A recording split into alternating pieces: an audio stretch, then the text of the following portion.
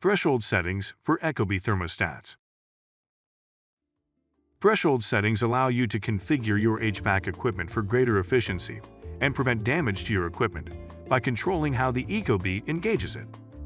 These adjustments can only be made on the Ecobee itself, not through the web portal or mobile app. Now to make your experience even more comfortable, we will focus only on the settings screens. Let's start by accessing the Thresholds menu on the thermostat. First, you click on the main menu icon on your thermostat. Scroll down, searching for Settings. From here, let's start by clicking on Settings. Now, under Settings, click on Installation Settings, Advanced Options.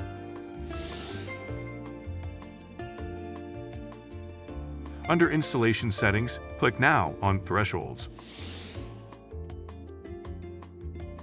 Followed by Compressor Minimum Outdoor Temperature. Compressor Minimum Outdoor Temperature enforces a minimum outside air temperature at which the compressor will be disabled. It prevents the compressor from running when the outdoor temperature is too low, thus resulting in damage to the compressor. If the compressor minimum outdoor temperature is being enforced, auxiliary heat will be used to reach set point. The temperature range is adjustable from 0 to 65 degrees Fahrenheit or can be completely disabled.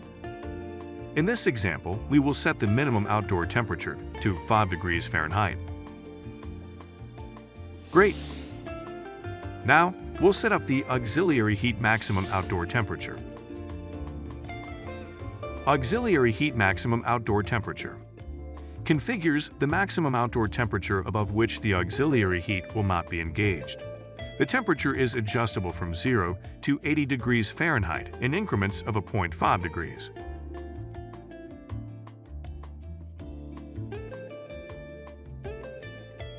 Here, we'll set the maximum temperature from 45 to 10 degrees Fahrenheit, scrolling the lateral scale up and down until you get the desired temperature.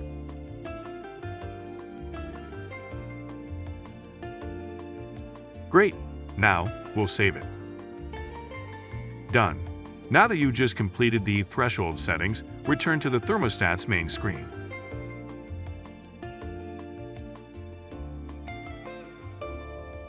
Now, learn how to operate systems with thresholds. From the main screen, open the selection menu. Select the heat option when you want to use both heat pump and auxiliary heat. When temperatures outside go above 10 degrees Fahrenheit, your heat pump will turn on. If the temperature falls below 10 degrees Fahrenheit, your auxiliary heat will turn on. If you decide not to use a setup with a threshold, selecting the auxiliary heat option on your menu will run your backup heat option. Please check with your installer if your system is designed for low ambient temperatures. And that concludes our tutorial on how to set thresholds for your Ecobee thermostat. Thanks for watching.